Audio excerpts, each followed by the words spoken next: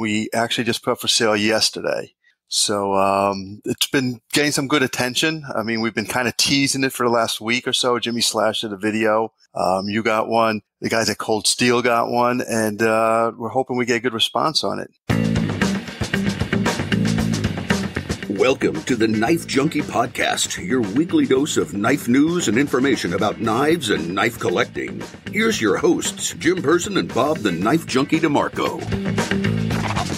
Hey, Knife Junkies, welcome to the Knife Junkie Podcast. I'm Jim Person. And I'm Bob DeMarco from the KnifeJunkie.com. Welcome to the show. Welcome to kind of a throwback episode, Bob, if we're going to call it that. We've been doing a lot of interviews where we're going to kind of get back to the roots of how the podcast started with you and I chatting a little bit, and we're going to do a timely topic. It's the first quarter, ending of the first quarter of the month, January, February, March. So we thought we'd kind of look at uh, some of the knives that you got and did reviews on and give you a chance to talk about some of those knives here in the first quarter of 2019. Yeah, we'll call this our first quarterly roundup of knife purchases, Ooh. so I don't get too far behind. I like that. Well, as as the name as the moniker junkie uh, might imply, I've been on a tear lately. Yeah. So Got to keep up with the uh, the inventory for reviews and stuff to talk about, right?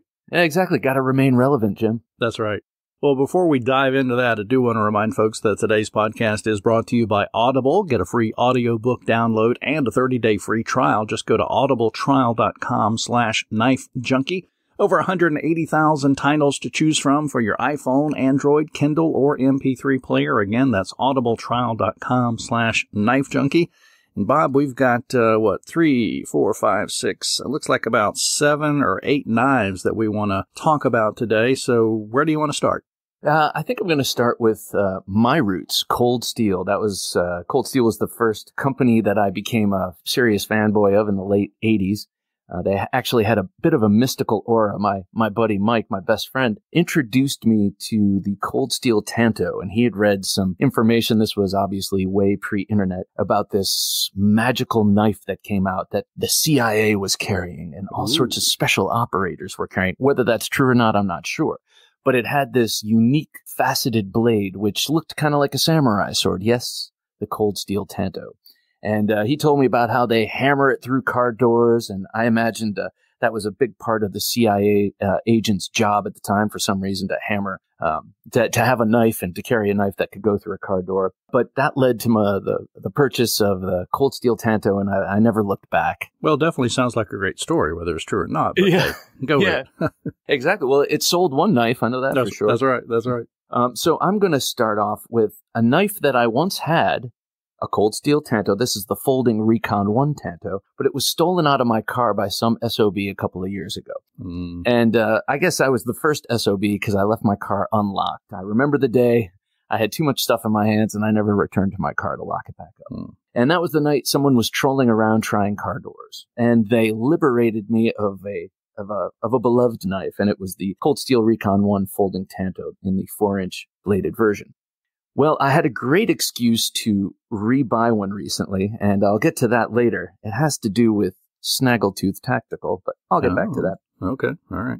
Um, so I just recently purchased the uh, the new version of the uh, Recon One uh, full size Tanto, and uh, man, they have made some serious improvements to this knife since the first one.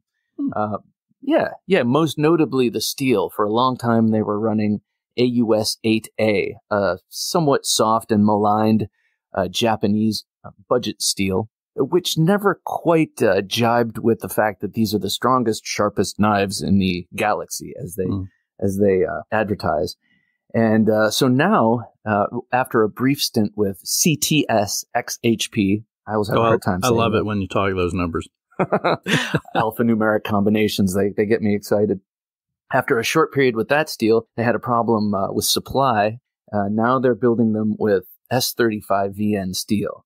And uh, instead of painting the steel with some sort of cheesy uh, uh, black spray paint, which is what they used to use, essentially, they now use DLC on uh, these new S35VN blades. And let me tell you, this is confidence in hand. I know that sounds kind of corny, but it's Mm. true.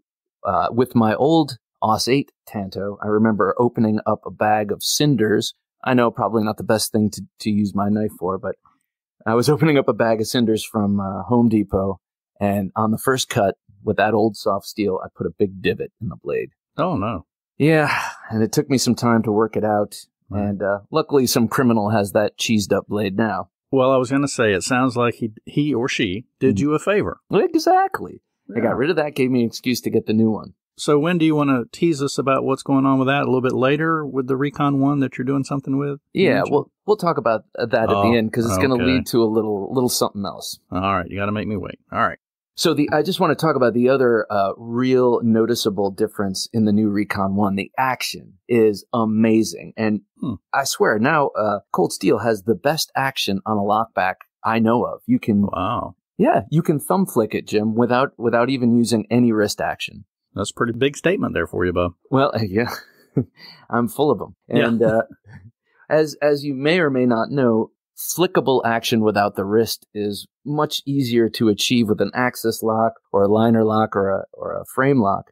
But on a, a back lock, there's this constant pressure on the blade downward that on most knives will will stop it from being flicked. But these new cold steels are the action is just amazing. I'm not exactly sure what they've done differently, but uh, I'm smitten. Hmm. And uh, so I'm going to be taking this new Cold Steel Recon 1 Tanto and adding a new mod to it. Okay, we'll we'll leave it at that. Yep. We'll leave it at that. Okay. A Couple of more cold steels you want to talk about before we get to some of the o- these other knives. I do indeed. Just the AD10 and the AD15. These have been uh, some highlight purchases of the last quarter. Two Andrew Demko custom designs that are now being produced by Cold Steel. Everyone knows about them because there's so much hype. And in my estimation, the hype is worthy. Uh, these are really awesome knives that I've always wanted to get my hands on, uh, but do not have the budget to get the the custom versions. And according to some online who have both the production versions and the uh, custom versions, the production versions are are quite uh, high fidelity reproductions of the custom. So, Hmm. Yeah, I'm very excited about that. Okay. Uh, one highlight being on the AD15, this new Scorpion lock, which, if you'll allow me, also has a great sound and high fidgetability. It's, uh, if there can be a controversial lock, there might be a little bit of controversy around this because endemic to this design is the, is the possibility of getting your fingers pinched. But I Hmm. say, if you're a knife guy, toughen up a little bit. It's a knife. You're maybe going to cut yourself sometimes. Yeah. So, so take the pinch instead of the cut. All right. Well, uh, speaking of the AD10 and 80, AD15, do want to remind listeners that uh, you did a couple of videos on those, review videos. Uh, you can find those at theknifejunkie.com slash YouTube. And also don't forget, we did interview uh, Andrew Demko, and you can find that on uh, podcast episode number 20. Just go to theknifejunkie.com slash 20, and you can actually hear an interview with Andrew Demko. Very cool guy, always looking to improve his designs. So I'm going to move away from cold steel and talk a little bit about Great Eastern Cutlery. Everybody uh, who listens to the Knife Junkie podcast or watches our videos knows that I am in love with Great Eastern Cutlery and their work in traditional knives and slip joint knives. Would I say number two on your list behind Cold Steel? I would say number one on my slip joint list. How's Oh, that? Okay. Okay. Very uh, diplomatic answer. Why, thank you. So the one I want to talk about is the Bull Buster, which is a full size. It's the, the Great Eastern Cutlery number 21. They, they number all their knives. It's the number 21 Bull Buster, which is a full size sod buster, which is a traditional kind of American farmer's knife. It, it does not have a lock on it, but it has a very, very stout action on it. So the pull and, uh, the pull on it is, is, uh, pretty strong and it stays open under a lot of use, uh, which which is of course what you want out of a folding knife. But this is a worker's knife, so I think they went out of their way to make the pull on this extra strong. Hmm. Uh, I got the version with linen, uh, green linen micarta, which you know I'm a, a big fan of, Right. Jim. Right. And uh, this knife, uh, I like it so much. I've added my uh, a, a little leather fob to it, which means uh, it's kind of my way of marking my territory, if you will. Means that's a keeper. Keeper, Yes. keeper. exactly. A keeper keeper until I decide to sell it, which I won't, but That's I right. love it. That's the reason we call it a keeper, keeper. so this one uh, is starting to develop a patina, which I usually like on my high carbon steel blades, but Jim, for some reason, I want this sucker to stay pristine, so I think I might hit it up with a little bit of polish and get it back to gleaming. Give it the spa treatment, as we say. The spa treatment, indeed. And it has the um, it has markings on the blade. It says Bullbuster, and it has a little uh, image of a bull, kind of a raging bull. Mm. And I'm not a big fan of of the markings on the blades. So I think once I uh, once I hit it with polish, I'll try and remove that. Um, hmm. That's just personal preference. It's also uh, kind of like putting the fob on it. It's right. I, I know that it'll make it harder to sell. Well, that, I was going to ask you that question because that was the first thing my mind came to, kind of from that that area that I come from, uh, online selling and reselling and kind of thing. Wouldn't that hurt the resale value if you took the marking stuff off of it? I do think it would, but uh, I've also sharpened it and stropped it and done other things that would also uh, remove value. It's kind of like I oh. get a knife I like, and before I can uh, reconsider, I eliminate my options. hmm. Okay. kind of like in life. Truly make it yours. Yeah. Exactly. Okay. So yeah, Bullbuster, awesome knife, the number twenty-one. Well, next up, I think you're going to talk about something that may be new to your collection, a, a brand. Uh, yes, the Bestech, the Best okay. Tech Kendo. Uh, this is a beautiful um, uh, G10 and D2 uh, blade steel Tanto. And uh, I got it. I've, I've always kind of had my eye on it because I like the look of it, but I've never had a Bestech mm. and uh, just kind of shied away a little bit until I saw a um, a great deal on Blade Forums and I snapped it up for 35 bucks. It's a 50 $55 knife, I think. Hmm. And uh, I was not disappointed. This knife is not only beautiful to look at, it feels great in hand. It's got incredible ball bearing action. And I just love the shape of the Tanto. It's, it's a little bit different from the, uh, this is going to sound funny, the traditional modern Americanized Tanto. It looks more like a Chris Reeve Knives Tanto. It's like a full flat ground blade up to the tip, and then you have a little facet up front. And um, I, I love it. Now, here's a bummer though. I, I dropped it on its tip almost immediately after, after yeah and, and the the string of expletives that came out of my mouth, Caligula would have blushed. Not appropriate for the podcast. yeah, exactly. But this knife is great, great action. I, I highly recommend it, and I uh, I have a good friend, uh, actually, who's also been on the podcast. Uh, Drew Swift loves Tantos. Every time he comes over, he picks it up, says, "Hmm, yeah, this knife." Hmm. So I said, "You know, you got a birthday coming up, so I think I'll be getting that for him for his birthday."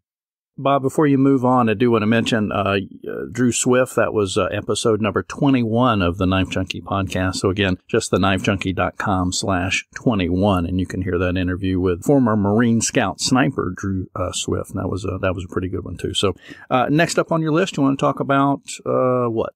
CRKT, someone, uh, a company that has awesome designs, but uh, usually just kind of uses uh, mediocre materials to to uh, instantiate them. Uh, this one is, however, Ruger branded, and as we all know, firearm branded knives are usually terrible. I'll just say it. But this Ruger slash CRKT LCK is an amazing, amazing knife. I got the Wharncliffe version of it. And to my surprise, this has been the greatest cardboard slicer, and I'm talking thick double walled cardboard hmm. in, in my recent collection, in, in recent knives I've gotten. We've gone through sort of a revolution in the house here. New beds for the girls. Yes, IKEA. Um, new furniture, lots and lots and lots of cardboard to cut up. And uh, hands down, my favorite for cutting cardboard is now this Ruger LCK Wharncliffe blade. It's amazing. It's got a nice hollow grind and it is strong. I mean, I'll, I'll work it through a whole bunch of steel. I mean, not steel, whole bunch of cardboard and get zero wiggle. And I don't know. I'm just very impressed. So this has turned into a, uh, this is going to sound demeaning, but it's not a kitchen junk drawer knife because it's closest to the area where I cut cardboard and I always know where it is. I'll be able to grab it.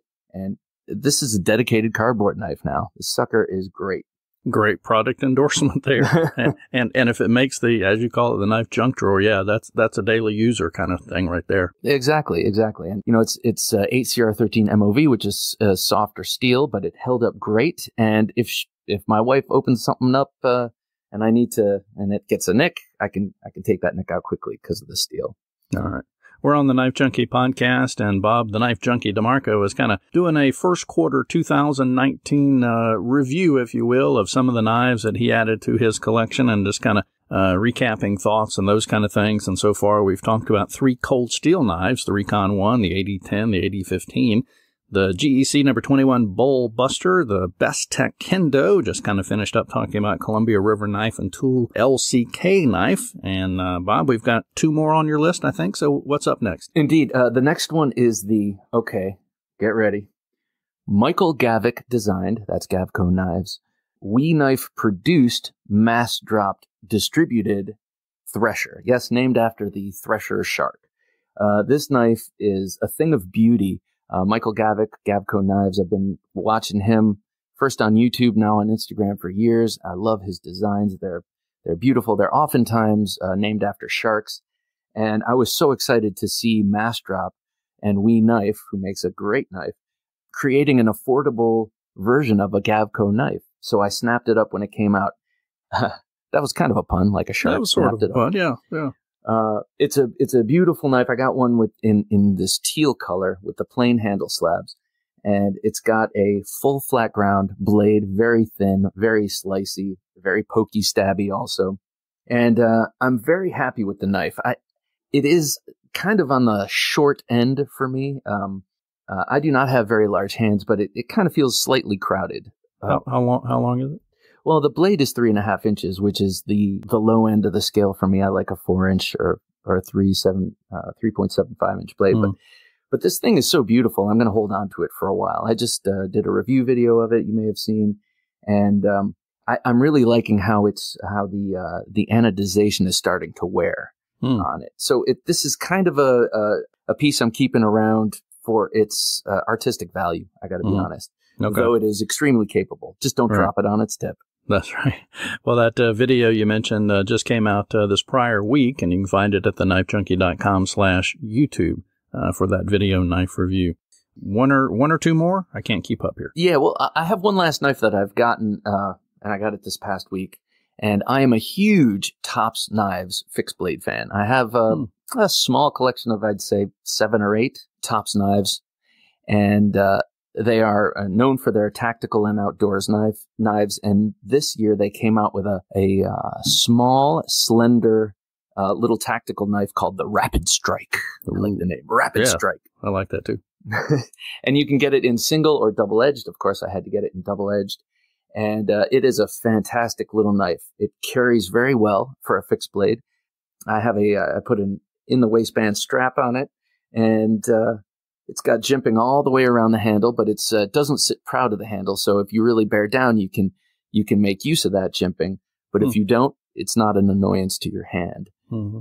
Uh, at the tip, at the uh, pommel, it's got a uh, a glass breaker, sort of a little pyramidal uh, uh, termination to the to the tang at the end of the handle, and it's great for breaking glass. I've tried it on a bottle, and it works the only thing is, is when I'm in reverse grip, I like to cap the handle with my thumb, and it's a little sharp, but I'm getting used to it. Hmm. The, the blade is slender and beautiful, and and came super sharp. And I would put this uh, not in terms of quality, but in terms of size and shape. It's kind of like a cold steel spike neck knife. It's got the hmm. long four inch blade, and uh, but it's very slender and right. easy to tuck away. Well, the glass breaker and some of those other features, isn't that kind of uh, endemic of the, the Tops brand? Aren't they kind of tactical related? Yes, yes, sir. They are tactical and law enforcement and, and, you know, first responder oriented. And in the past five years, they've gotten heavily into the outdoors thing too. So, mm. uh, camp knives and that kind of thing, trail okay. knives. Uh, and, and before we move on and before I introduce this product, uh, this other product that I'm going to oh, add yes. to my Recon One, I just wanted to mention uh, my buddy Ian Lewis, uh, who we spoke to on uh, the Knife Junkie podcast number eight, right. Uh, martial arts expert, loaned me.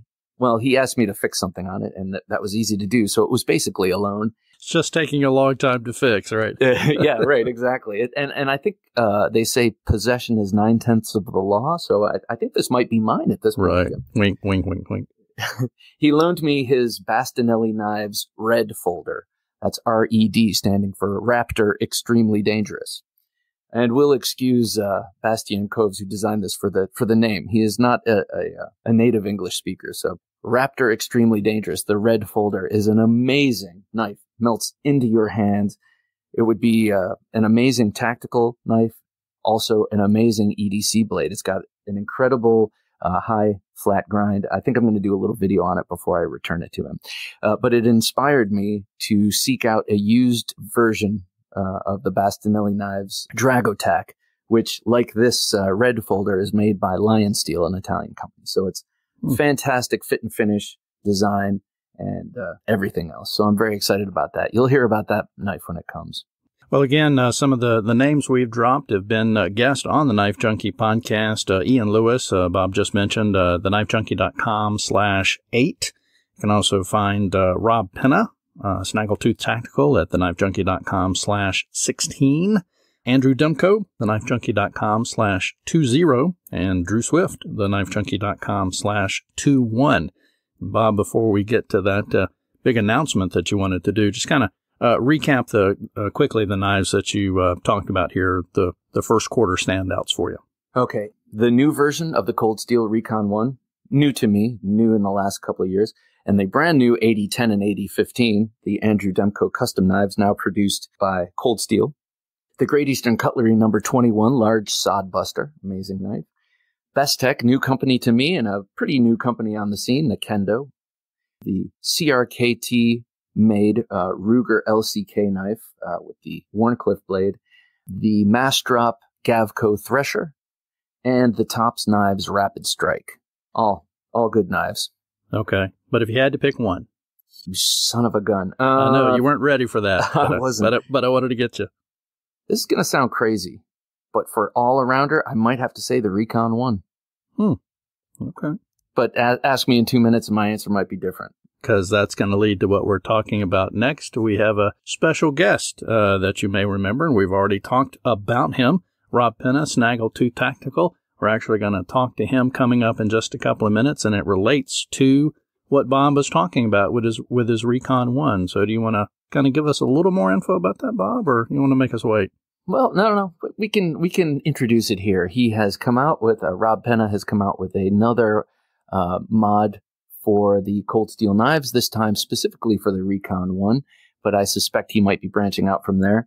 And it's called. Uh, well, I'll let him tell you what it is. But it's a it's a knife pull and uh, karambit ring that you can attach to the end of your end of your knife.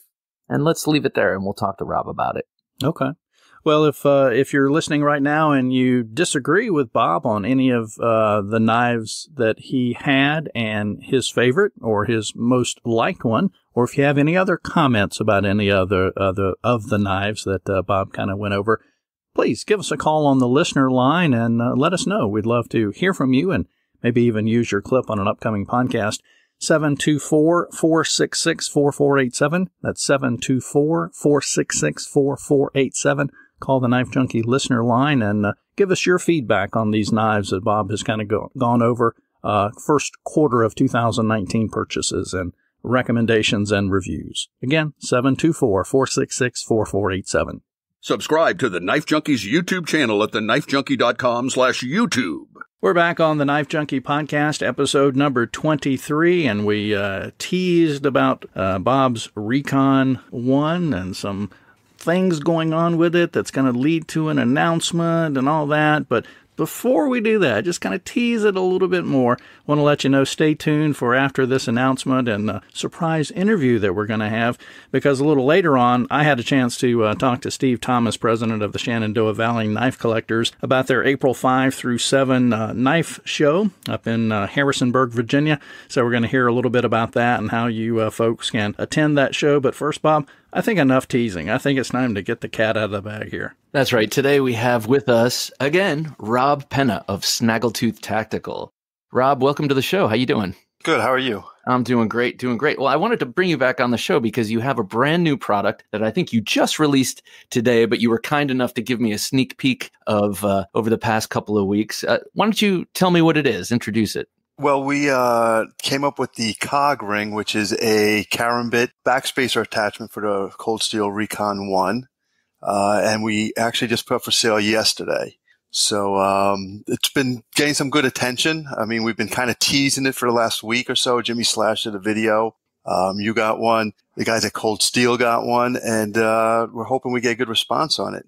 Yeah, it's a uh, it's a fantastic product, I have to say. Again, kind of a great follow up to and a logical follow up to the Snaggletooth MF, uh, which is an automatic pocket deployer. Uh, so when you draw the knife from your pocket, the Snaggletooth MF grabs onto the side of your pocket, opens up the blade, and also offers uh, as a as a secondary benefit a nice thumb ramp. By the way. So this new cog ring is a, a karambit attachment and pull ring. So you don't have to know how to use a karambit to use it. It makes it way more convenient to, to draw your Recon one from your pocket. But uh, let, let me let me just describe it. Uh, it it fits in the place of the backspacer, and uh, you fit the uh, you fit the backlock spring into it, and it extends from the back, the pommel area of the Recon One, and it's a perfectly circular ring for you to put your forefinger or your pinky if you want to through, and it's got uh, it's got little cutouts all around it. Um, I'm not going to call it jimping. It, it does look like a cog, hence the term cog ring. Yeah, I just um when I designed it, I started playing around with different geometry, and that one kind of caught my eye. So I said, let me try that one first. Well, let me tell you, as a user, not just uh, not just as someone who loves and uses knives, but I've also done a fair bit of training with karambits uh, in the martial art I do. I really like the cog aspect of it. I love the cutouts around the outside of the ring because as you're flipping and maneuvering uh, the knife itself uh, using the ring, you can stop it kind of at any um, any time around the clock, if you will, by uh, by just pushing your thumb into one of these uh, serrations. So it really adds uh, a, a, lot more um, dexterity to to the manipulation of the knife.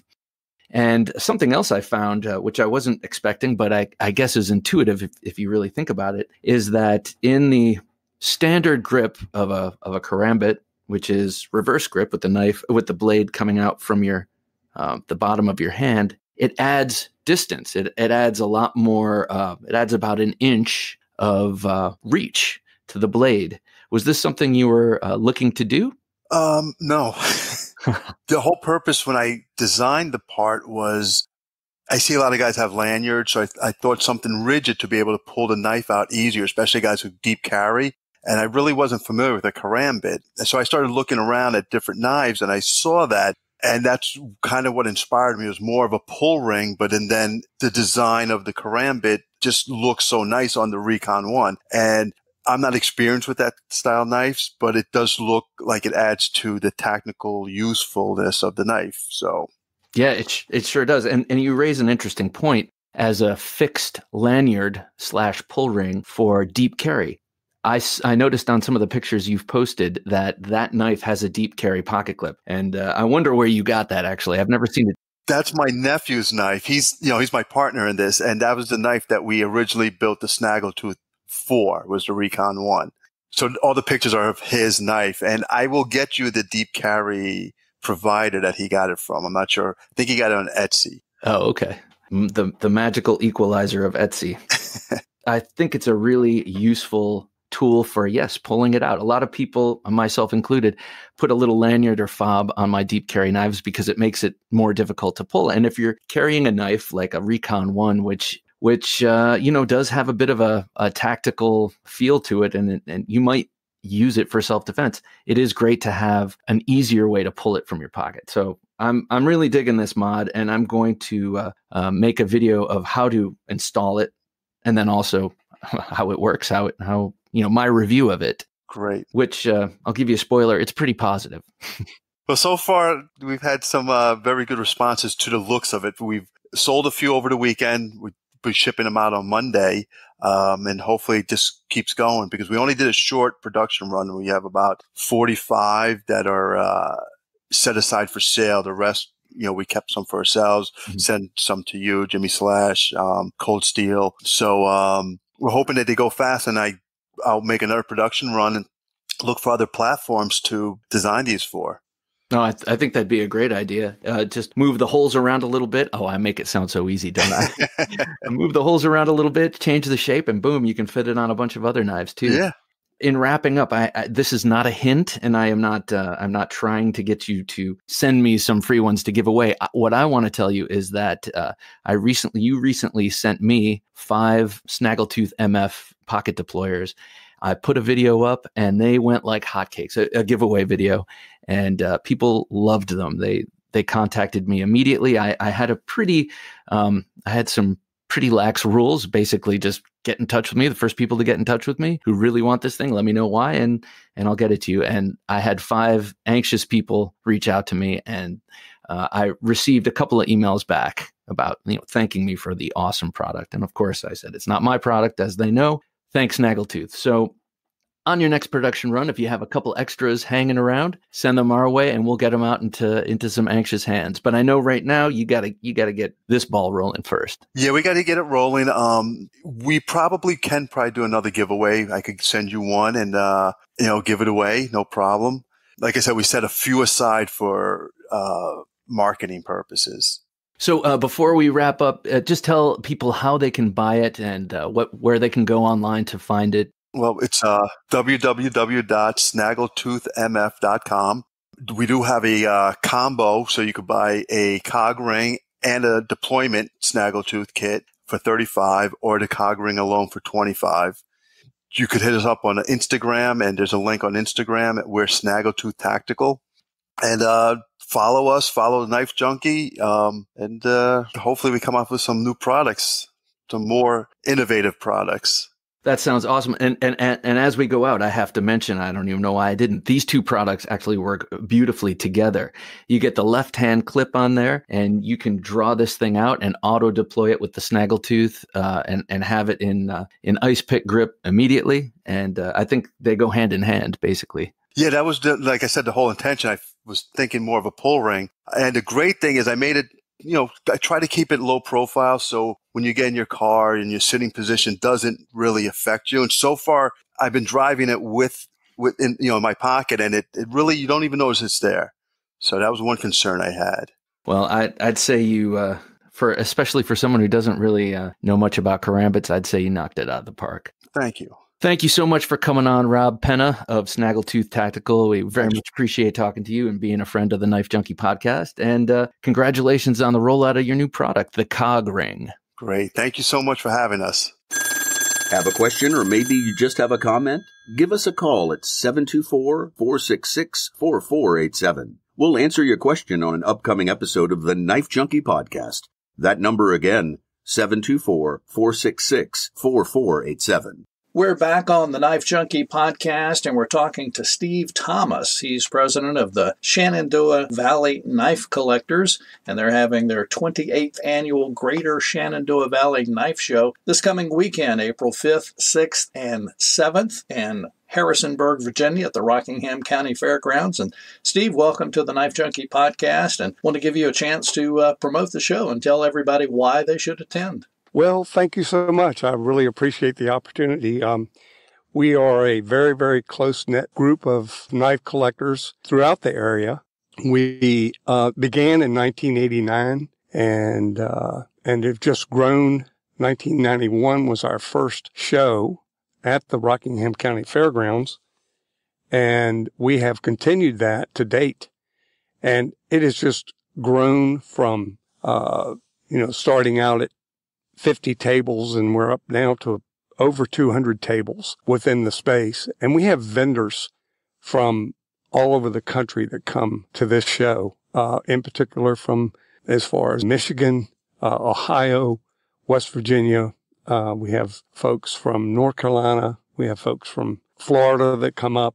We have um, one of our sister club sponsors, which is uh, the Buck Club, National Buck Club they have come every year and they have a huge display of uh, all buck knives. Right. And uh, it's, it's just a gorgeous display to see. Yeah. What makes folks travel from so far? What makes your so, show so special? Well, it's just uh, we have vendors that know each other from all around the country and uh, have not been able to put my finger on why this particular show has been so good. Right. but uh, I think it just uh, there's a there's a unity within the show that that uh, you don't see it. We have a lot of fun. We we just uh, I don't know what is there's it's just different than most of the shows that you yeah, would normally yeah. go to. Yeah, something something special there in uh, in Shenandoah Valley. It really is. It really is. There's a, a good, there's a good group of people and, uh, everybody, um, the, the knife makers that come in are extremely talented and, uh, you just see, you see makings of knives that are not, that are just personal and not just, um, you know, not just making it for the money end of it, but they really truly have their heart in what they're doing. So I think that's what really turns the corner on it. Well, that kind of attitude really shows through too.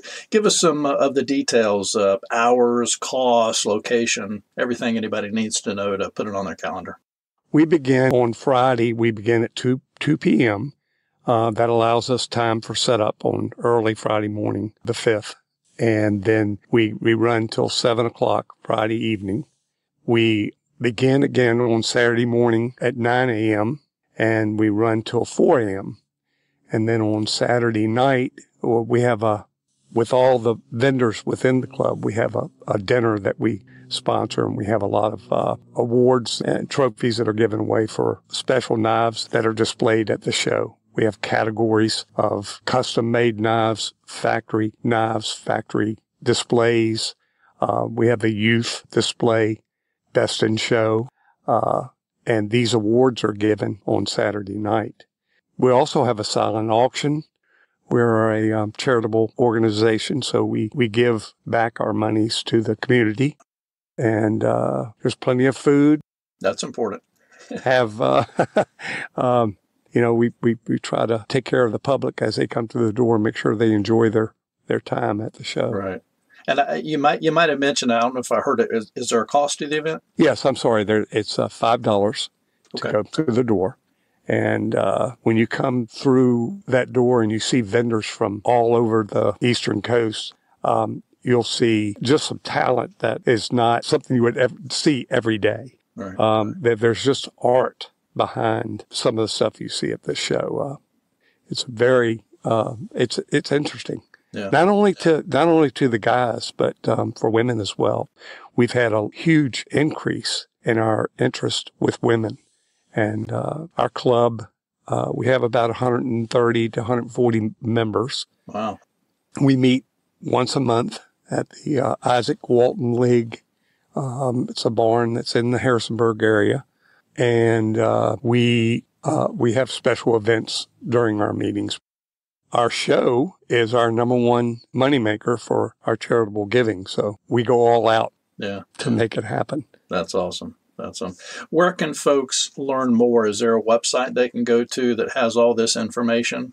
Sure, you can go to the um, to svkc.org and uh, open that website up, and you can you can see everything you want to know about the show there get all the details there. All right. Steve Thomas, President, Shenandoah Valley Knife Collectors Club. Again, the 28th annual Greater Shenandoah Valley Knife Show is April 5, 6, and 7. That's Friday, Saturday, and Sunday. A lot of great events. Uh, how many tables did you say? More than 200 tables? Yeah, we have, we have 96 vendors and we have around 210 tables. So wow. It's a, it's a really good show yeah, a lot there for everybody. So, Steve, thanks for being on the Knife Junkie podcast. And if you happen to be anywhere around the Harrisonburg, Virginia area listeners, you'll want to check out the 28th annual Greater Shenandoah Valley Knife Show. Thank you so much. The Knife Junkie is online at theknifejunkie.com. Jim, that interview got me so pumped to start going to some knife shows. Mm. I've only ever been to the uh, New York Custom Knife Show, and that is great, but we have a lot of knife shows all over the country, and what a great excuse to do some travel. But, but really,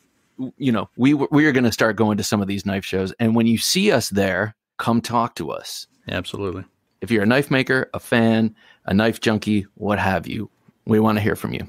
Yeah, well, and I have you know kind of teaser. We've got uh, an interview coming up uh, with uh, Bill Goodman of uh, Good Knives LLC. He's the promoter of the uh, Lehigh Valley Knife Show. That's going to be in early May. Also working on uh, getting some interviews if possible to kind of do some promotion. But you know the the spring season is a big time for knife shows. The 44th annual Oregon Knife Show is April 13th. We've also got the 37th NCCA Extravaganza. That's at the end of April. Mentioned the Lehigh Valley Knife Show, May 4 and 5. So a lot of shows coming up. Again, yeah, like you said, we'd love to get out there, talk to folks, and give you an ex- excuse and me an excuse, uh, maybe to, to buy some additional knives as well. Yeah.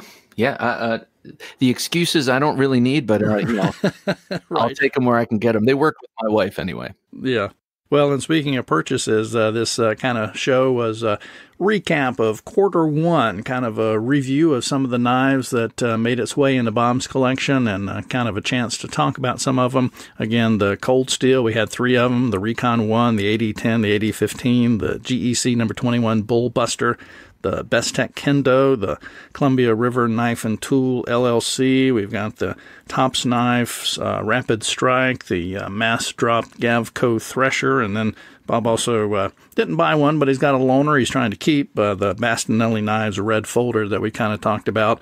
And if uh, any of you have any of those knives, has any thoughts about them, any comments on them, please call our listener line 724 466 4487. Let us know what you think about those knives or any other knife. 724 466 4487. And Bob, as usual, I'll turn it over to you for the for the final word from the knife junkie. Well, I'd say uh, if you're curious, check out these uh, Snaggletooth uh, Snaggletooth products. They really enhance uh, can really en- enhance your your tactical knife experience, or just your uh, drawing a cold steel from your from your pocket. They're mm-hmm. they're very well engineered and very well uh, made. Well, Rob Pena, truly a friend of the Knife Junkie podcast, and this show is uh, coming out on March 31st. And as Rob said, they just dropped their product yesterday. So timely guest, timely news right here on the Knife Junkie podcast. That's right. Thanks for listening to the Knife Junkie podcast. If you enjoyed the show, please rate and review at reviewthepodcast.com. For show notes for today's episode, additional resources, and to listen to past episodes, visit our website, theknifejunkie.com. You can also watch our latest videos on YouTube at theknifejunkie.com slash YouTube. Check out some great knife photos on theknifejunkie.com slash Instagram and join our Facebook group at theknifejunkie.com slash Facebook. And if you have a question or comment, email them to bob at theknifejunkie.com or call our 24-7 listener line at 724-466-4487 and you may Hear your comment or question answered on an upcoming episode of the Knife Junkie Podcast.